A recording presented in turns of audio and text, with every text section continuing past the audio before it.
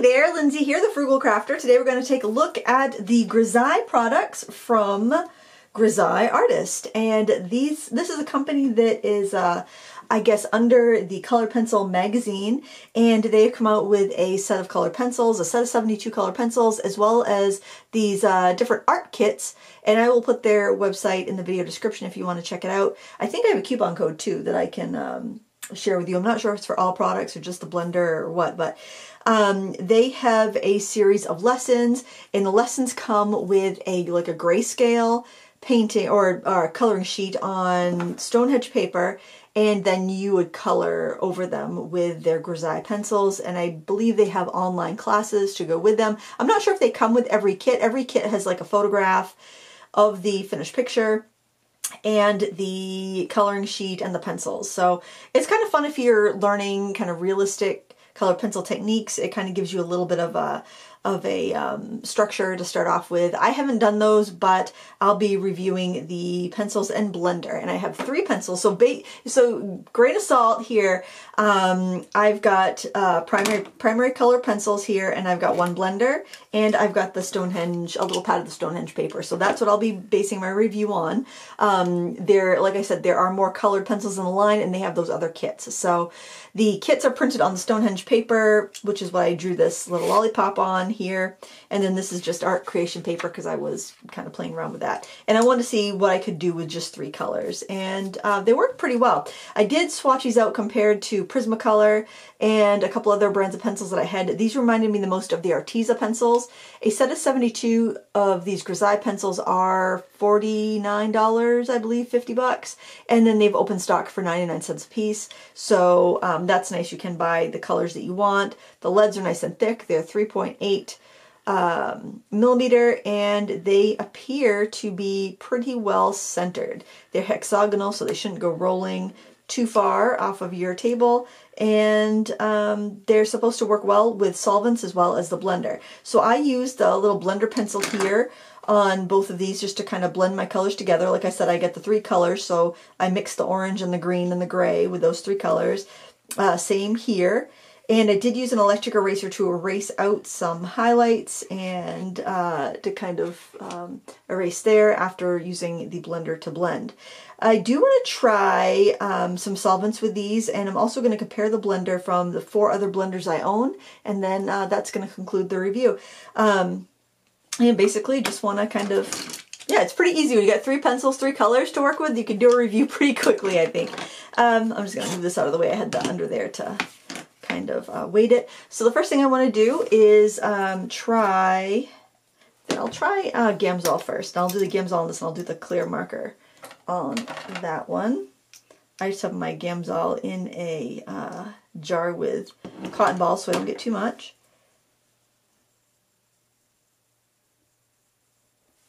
And I've already used the blender pencil here. So basically what I want to do is maybe even just brighten things up a little bit. I find I don't use blender pencils too often and the reason for that is that I find that sometimes they can add a bit of a wax bloom because you are blending with like a hard uh, wax that may have a little bit of a grit in it. This should be a little more curved there. Kind of botched that uh, that drawing a little bit, but I also want to blend on the the stick because um, I had to put those three colors together to try to get kind of a grayish color.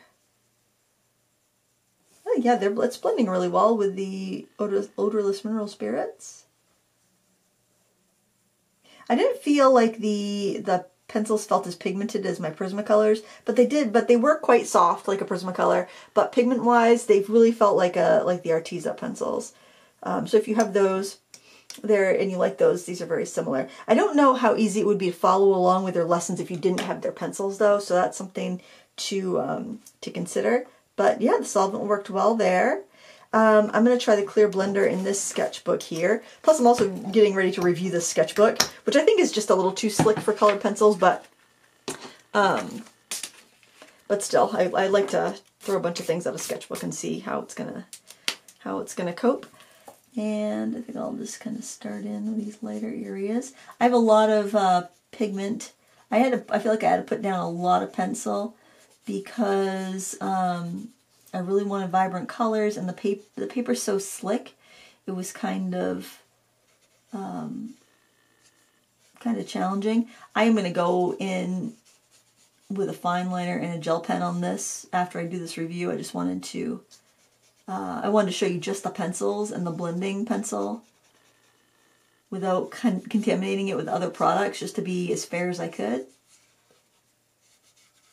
But I think the price point on the pencils is really good, especially if you wanna if you wanna take those classes. It's not you know, it's not that expensive to get the pencils. The classes range from I think around 20 bucks to 50 whether you're get, just getting the uh, class with the written instruction or you're getting the online class as well.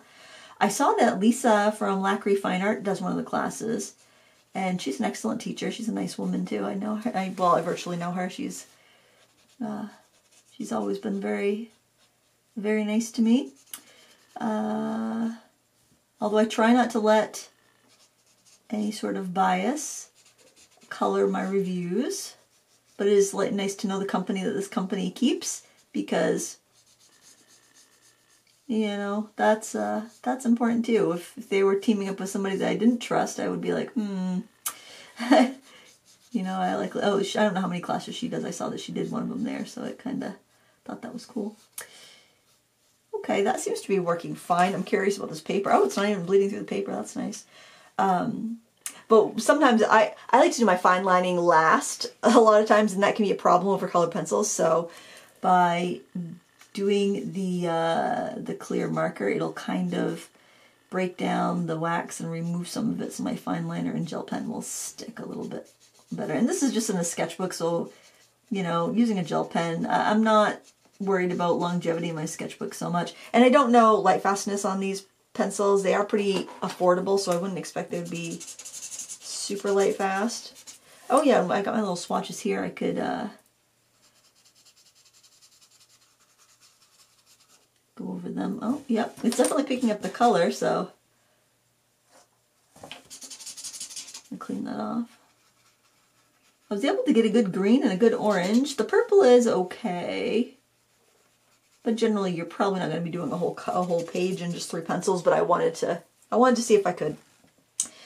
All right, okay, I'm happy with that. Now let's test out our blender pencil a bit. Like I said, I did use the blender pencil on these these two pictures, um, but let's try it against some other blenders. I'm just going to pull out one of these. These are like artist trading card sizes. I think that's kind of cool. It'd be fun to do some um, some stuff on that. So what I'm going to do, um, I'm just trying to think, how can I do this so I can have four? I need to have five. Um, I need to have five, enough to do five columns. So what I'm going to do is actually...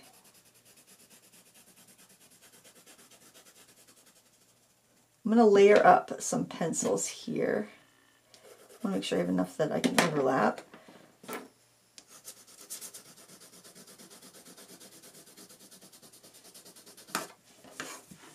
I'm not using a ton of pressure, which is nice. I'm just kind of uh,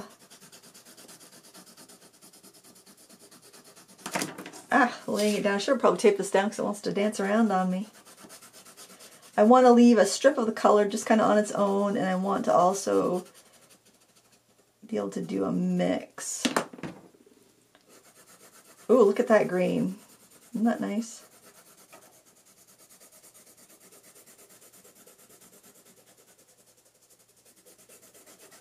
I'm going to go all the way to the bottom of this and then just do a stripe of red over it, over the bottom so we can get the, the purple as well.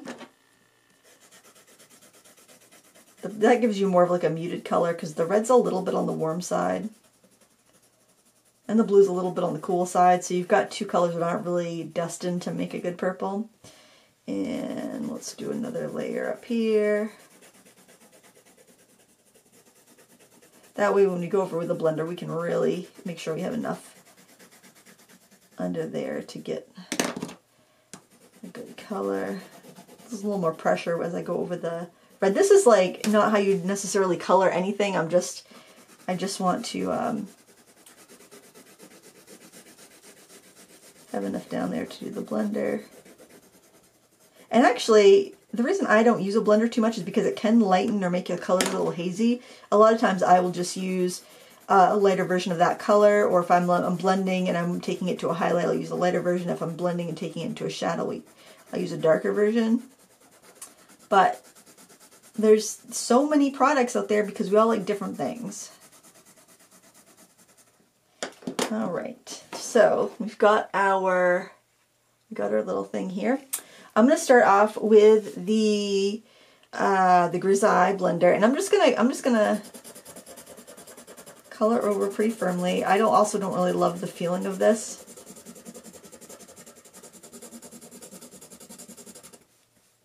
I'm gonna bring it out a little bit more. So, what the blender does is it squishes the colors together and it gets rid of the grain. You can see that there, it has gotten rid of the grain. Flattened down the tooth of the paper a little bit. Uh, so I'm just going to put these in the order which I use them. So now I'm going to do a Lyra. Well, you know what? I will tell you what, that Grizaye one did merge the colors a lot better than the Lyra.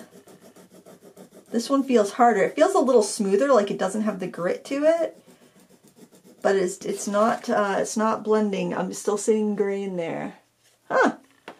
All right, next up we'll do the Koh-i-Noor blender. This one came in my, uh, I don't know if I've ever used it. It came with my tritone pencils. This one is blending better than the Lyra. It's also snapping though.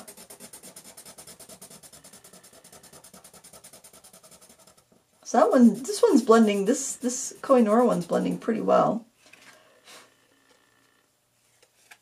One, two, three, not, better than two. I don't know if it's quite as good as the first one. Let's do our tried and true Prismacolor. That's probably the one that I would use. That's what that, that blender reminded me of.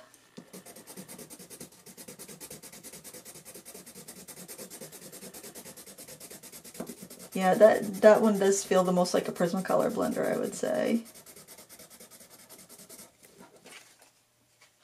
That's a Prismacolor. I like the I like the Prismacolor, but it could just be because I'm more used to it. And last but not least, we have a uh, fan favorite with the Full Blender by Caran d'Ache. Which feels silkier. I like the feeling of it better, but I don't think it's blending as well as the uh, Prismacolor or the um, or the Grizaye one. Hmm. Well, it's a Prismacolor. That's the Splend. The is it the full blender? The Caran full blender. I guess it's pretty similar. Yeah, Actually, with the red, it looks like the, the Caran blends a little bit better. All right, now I'm going to go back to our Grizaye one. Now that I've tried all of them, I want to have this one with fresh.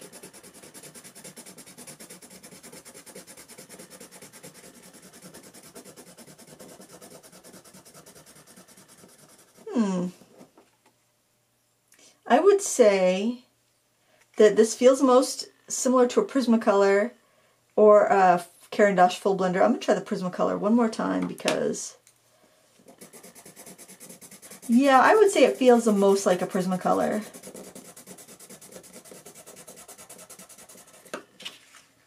But you know what? When I look at Prismacolor, the uh, Caran d'Ache, and Prism, uh, Lyra and Prismacolor... Oh my gosh. Prismacolor, Caran d'Ache, the Grizaye and the Prismacolor again, those four I feel to be very, very comparable. I felt like the, just using them, the Caran d'Ache one felt a little bit smoother, but the, um, the Prismacolor and the Grizaye both felt that like that they had that little bit of hard hardness and grit to it, so it like drags a little bit more.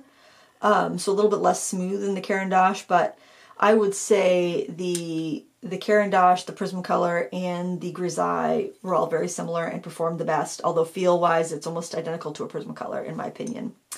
Um, the shape is different, the uh, and it looks it looks like the the Caran d'Ache is probably a better bang for your bucks. It's all blender pencil and you don't need to sharpen it unless you need the point.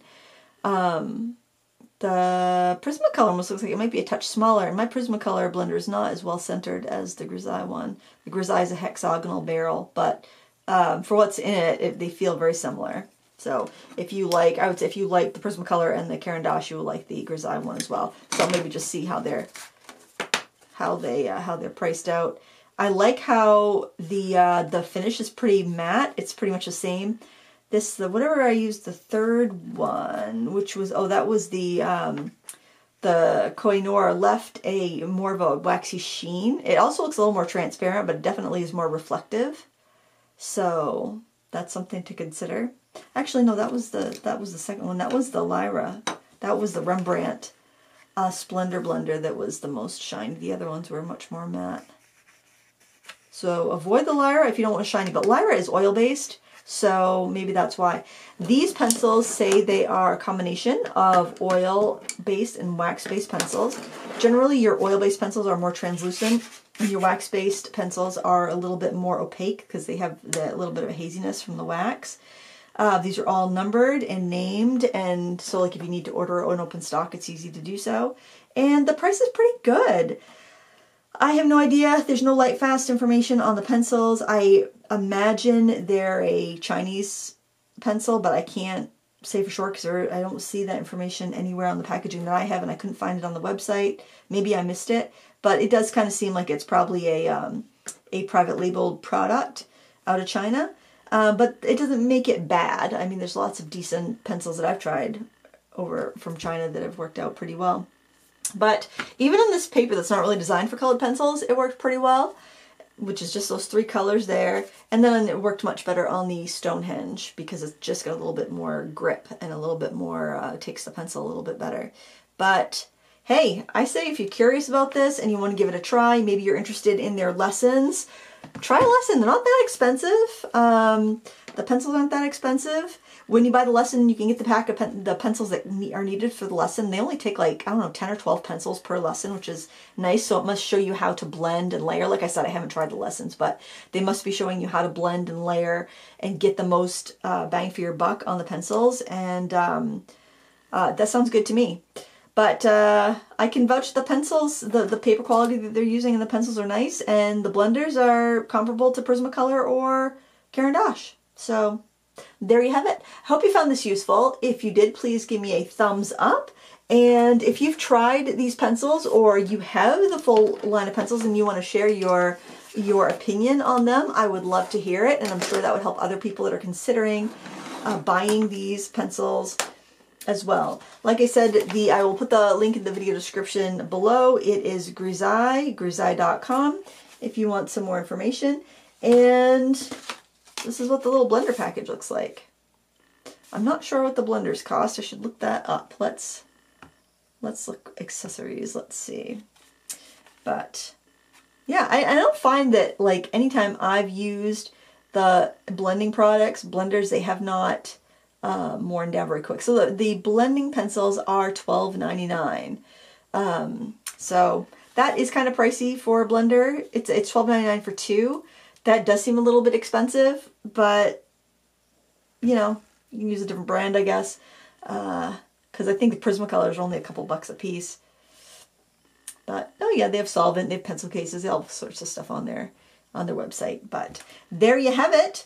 Um, I will probably just stick these in with my Prismacolors because there's only three of them, and I keep my Prismacolors right next to my uh, to my desk, and I think they'll work with those just fine. Thank you so much for watching. Please give me a thumbs up before you go. And until next time, happy crafting. Bye.